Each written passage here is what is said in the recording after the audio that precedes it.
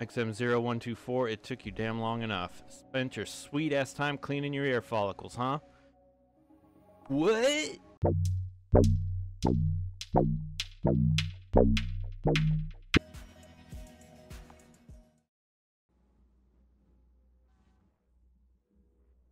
Okay, I, I'm guessing it's uh. Hello again. Let's see. You are XM0-124 of the Alkeans race, longtime resident of, you guessed it, the planet Alkia. I mean, yeah. Furthermore, this big old colorful rock you call home rotates at a measly speed of 100 Alkean lengths per quarter Alkia day. That means your nights are few and far between and last just as long as your wearisome days. How boring. Does, however, mean that your dreams are bloody crazy. I mean, you would know it better than anyone. You're in one right now. Who are you? So I'm in a dream? My name is Somnus. You might have mistaken me for my brother, but if you see him, that means you're in a load of trouble. But anyway, it's strange for you to be the one asking questions. All I am is a reflection of your inner thoughts. Guess it makes sense, though. Given the rarity of nights, your species don't dream very often, and the dreams that do happen are all spaced out. In turn, your kin have failed to develop a dream sense when they sleep, and always regress into the same pitiful amnesiac self. Kinda cute when you think about it, but annoying for me because I gotta explain this stuff every time. I digress. There's more important things to discuss. Listen, things are about to get shaken up, buddy. Big time. And I hate to say it, but the responsibility for it is gonna fall squarely on you. I'll tell you about it in the next room. Okie dokie? So yeah, this RPG Maker game. Uh. Oh, cool. Ha uh, always dashes on. Well, nope, nope, nope. Don't game end. There we go. Okay. Yeah, I mean, always dash. Hello again. Now, what's your name? I know. You're XM0124 of the Alkeans race, but I mean, what is your name? You know? What? Sorry, getting a drink. Uh, it's not rocket science. Just tell me, what is your name? Sorry, I didn't realize my mouse was in the middle of the screen there. Uh, it's gonna go.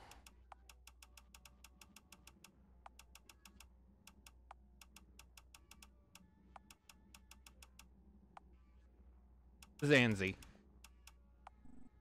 I see. Zanzi. What an interesting name. Thank you, man. Now, Zanzi, I must ask. Oh. Oh. Oh my.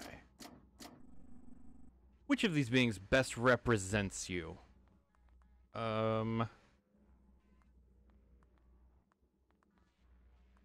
Hmm, I mean, probably default expression over here. Ah, this guy's a little closer. I have brown hair. Let's say this one. Is this the being who best represents you? Yeah. So be it. Now follow me into the next room. Wee. Oh wow, nice room. Now this is the final room, I promise. I'm gonna need you to tell me one last thing your species has no concept of a relationship, as far as I know. This would make sense, given reproduction is pretty much handled by a single queen. But still, I need you to answer this question with utmost attention and honesty. If you had a partner, what would their name be? Ooh, uh... Let's just do...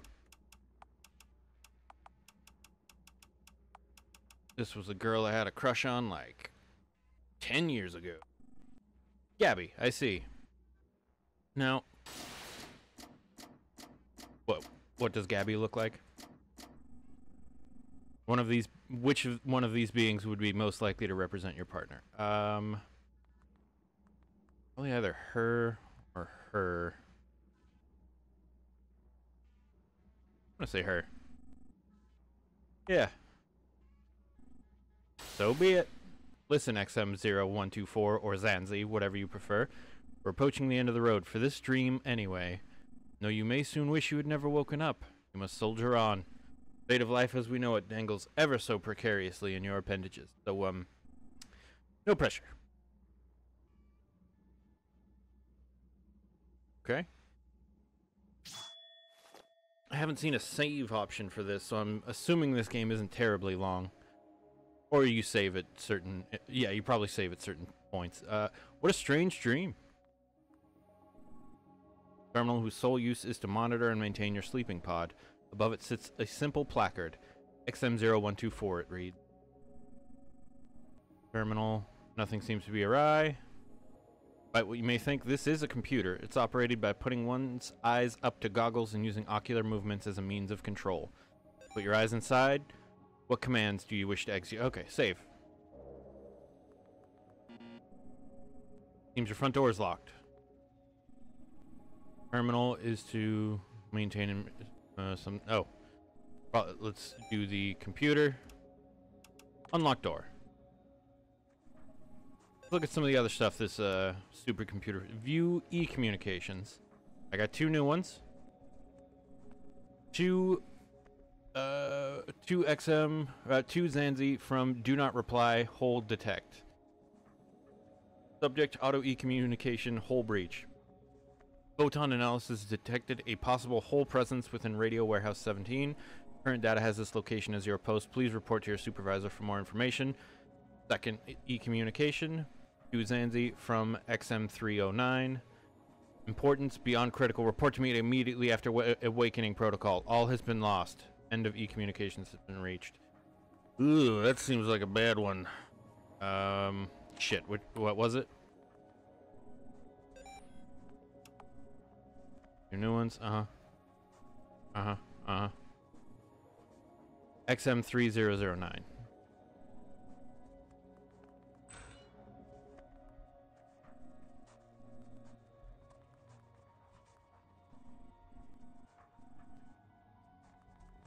Um, I'm guessing this way. Oh.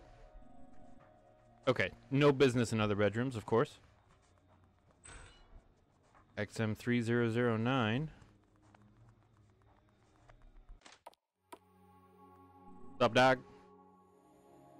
XM0124, it took you damn long enough. Spent your sweet ass time cleaning your ear follicles, huh? What? Don't what me, you maggot. Good lord, your dreamnesia may might be worse than I thought. Now it's got you struggling to retain your memories in the real world. Believe me, if I had a way to keep you workers awake at all time, it it'll make things a lot damn easier around here. See, I'm not sure if you remember this, but I'm the general manager of Unit 17. Makes me the prime overseer of, among other things, Rations Bunker 17, Sleep Warehouse 17, and most importantly, Radio Tower 17, your location of employment. Why is that important? Well, besides being the place that you work at, when it comes down to it, radio towers are the biggest hope for survival of our species. Hey, do you even remember what the hole are? I'll take that as a no. God damn it, time is of the essence now, and I gotta sit here explaining things to Sleepyhead over here. Shit. You should know, Alkia is home to not just one, but two intelligent species. There's us, the Alkians, but there's another. They're called the Hole. Terrifying beasts, though not quite as intelligent as us, they're twice as deadly. They can only live in darkness, which means when night rolls around, they're on the prowl. Well-lit and well-fortified buildings, however, are a means to keep us safe during the night. But somehow they found a way into the generator below our radio tower and destroyed them, taking over the tower in the process. Curse them! Been damn near 1,000 Alkia rotations since the last attack of this scale. We thought the barriers around the generators would stop anything. make things worse, because it's been so long, a lot of our military equipment has been decommissioned anyway. Not, a, not that it would make much difference at this point. So, Megan, I'm sure you see where I'm going with this. That radio equipment is our ticket to contacting a planet capable of fostering life and getting the hell out of here. I'm going to need you to get in there, get our transmitters and receivers, and bring them back here. Do you understand? Um, why me? You begin to come to the realization that all the open doors you saw earlier were other Alkians that have been sent out before. Okay, so He's just sending out waves of people to die. Wow, real uh, Zapp Brannigan here. What happened to them? Hmm. You understand the meaning of your own name? XM0124? That zero is there for a reason. Notice that it's less than the 3 in my name. XM3009. Do you know what that means? I'm guessing this guy's a little higher rank, but I'm going to say no, I don't know what it means. It means that you do what I want.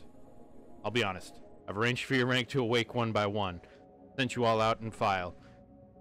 And nobody's returned just yet. But that doesn't matter one bit. What matters is I just gave you an order, and disobeying orders is not what Alkians do. So get going. Clock's ticking. I gotta start waking up the next in line in case you don't come back. that look on your face. You have no idea what's going on, do you? Almost feel bad about sending you to face the hole, but you know, that's how the world works. Your dreamnesia is really that bad. You can brush up on our history in the hole using our records library behind me. Leave me, maggot, you'll need it.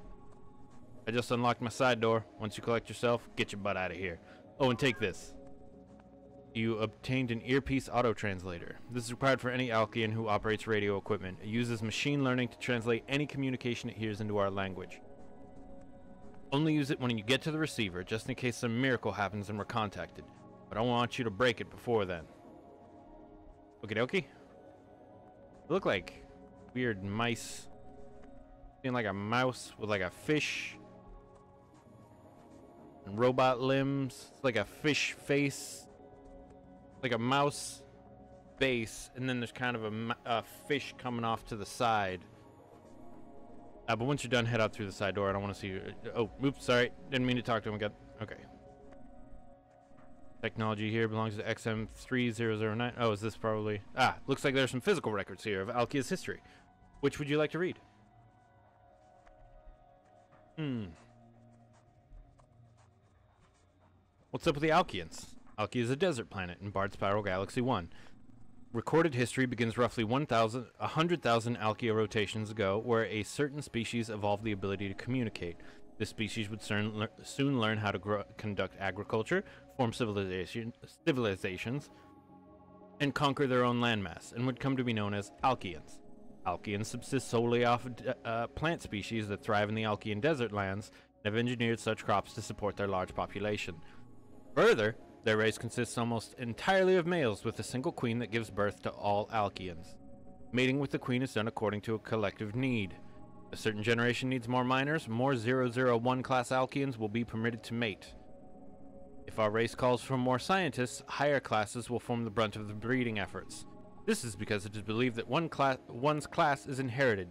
Given how most Alkeans are proud to fulfill their respective roles, this seems to be inarguably true.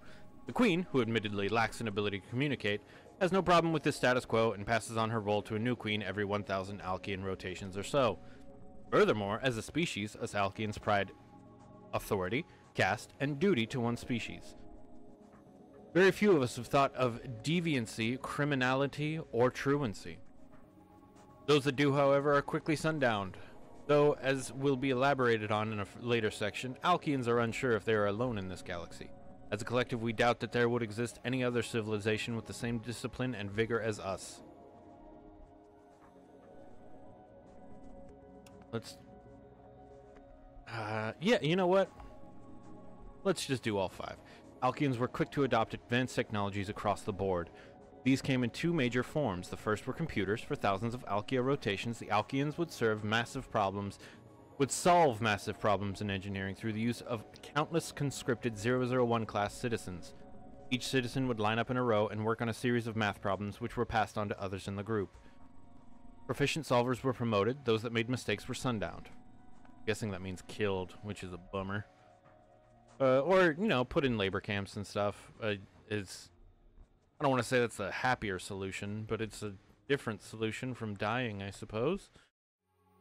Uh, for a while, this was sufficient, and Alkean society flourished. Much of our planet's greatest architecture and weapon systems were made using this method. However, it was eventually realized that this process of mass computation could be replicated by a series of connected transistors that could either be turned off or on, on this discovery, Alkia's computing revolution began. 001 class citizens, who were usually relegated to mass computation roles, were restructured into foot soldiers, miners, and hospital grounds to support Alkia's new path.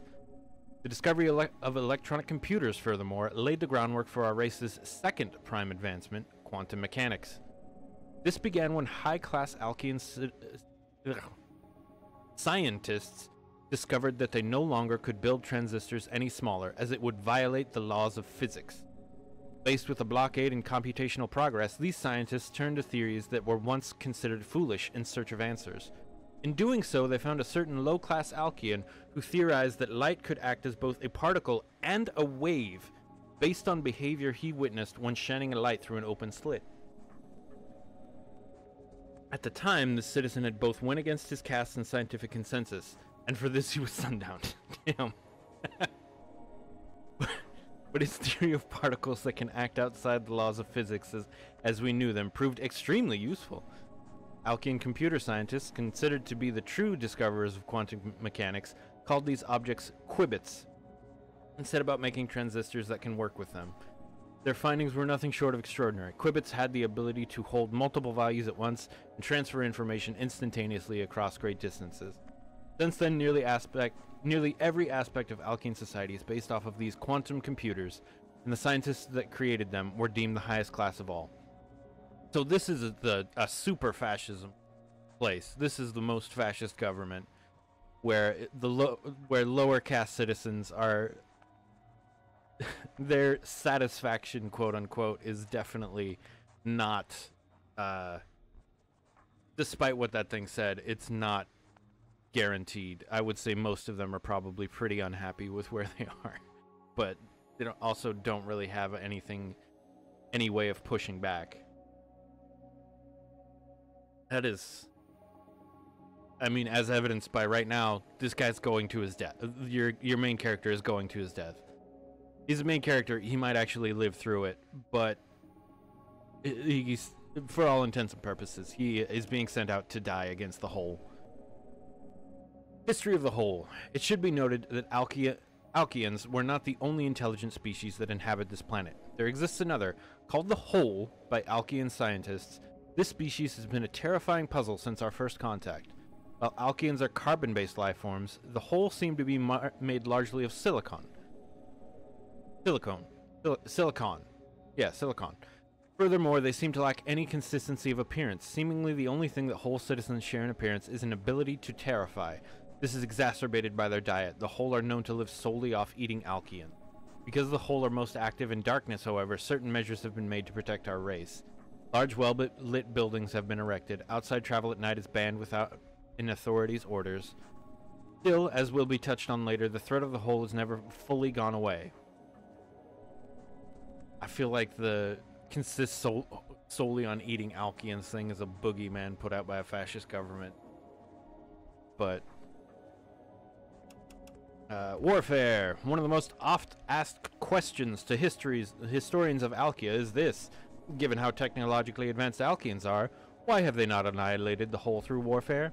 This question, largely asked by low class citizens sent out on re- reclaiming or scouting missions, is easily answered with higher class insight.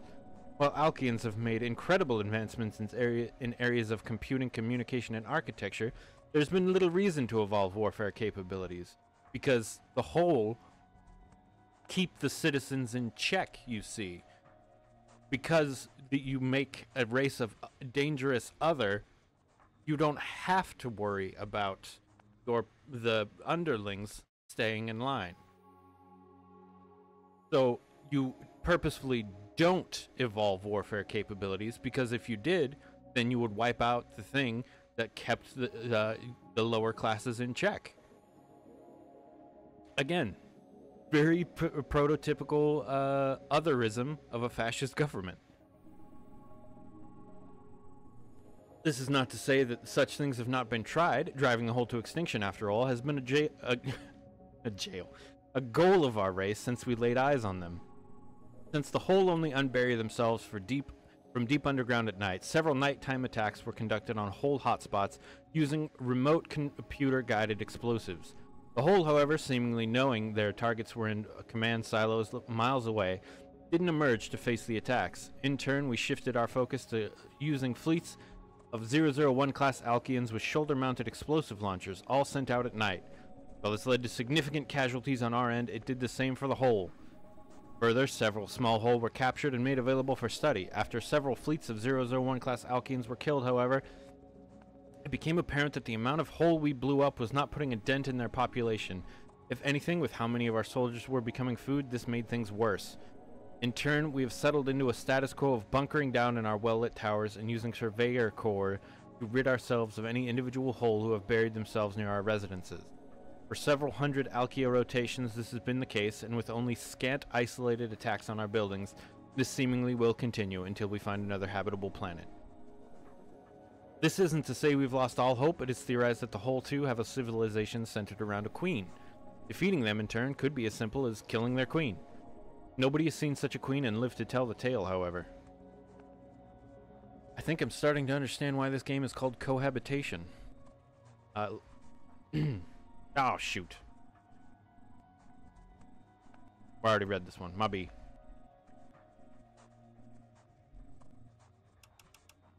Search for planets. Alkia's miserable cohabitation with the hole has been an embarrassment for high-class citizens throughout all of history. The fact that so many of the lower classes must get eaten in this way is nothing short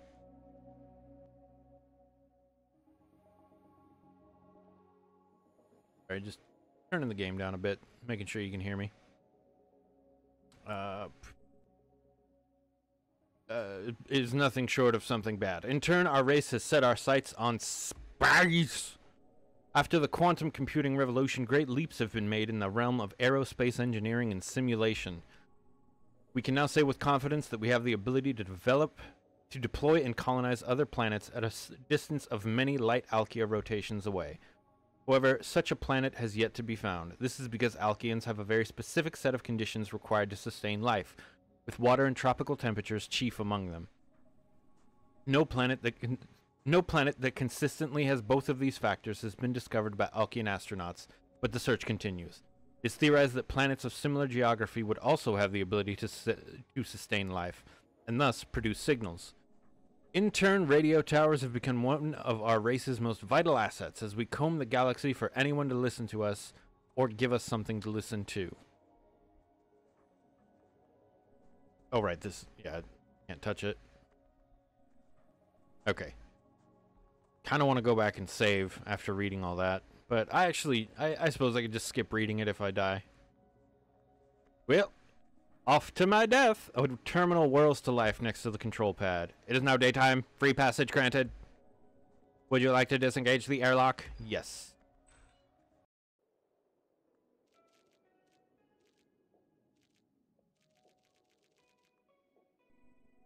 This must be Rations Bunker 17. No business here currently. Doop a doop a doo. Hospital 17. No business here currently. Oh, hey. What's up, homie? That blue exoskeleton. You're a 001 class, right? Shit. Don't tell any 003s this, but I hate my job so fucking much. Going out here with a gun, hoping I don't accidentally step into an open hole mouth. Is this really all there is? At least I'm not as bad off as you are, heading that blasted radio tower and all. Good luck out there, buddy. Haven't seen anyone return from there yet. Could I have a gun? I'm guessing this is the radio tower. Ooh.